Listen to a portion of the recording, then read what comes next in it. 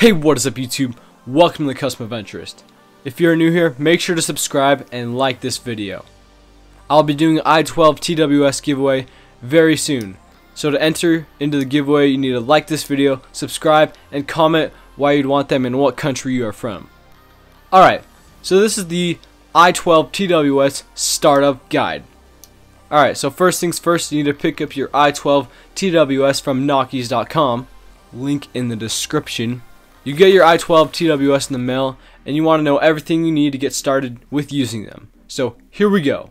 After you unbox your i12 TWS, you need to put the headphones in your ears, then go to the Bluetooth menu in your settings and look for the TWS and press it for it to connect. When they have connected, you can play music, videos, and movies all through your headphones at will. When you're done with them, put them back in the case and press the button on the back.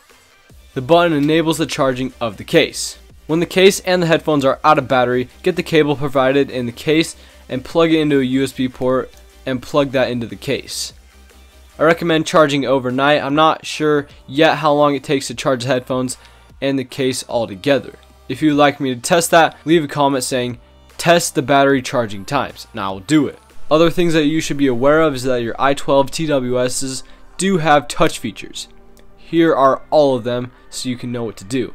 Three taps on the right side goes to the next song. Three taps on the left side goes to the previous song. Two taps on the right side turns the volume up. Two taps on the left side turns the volume down.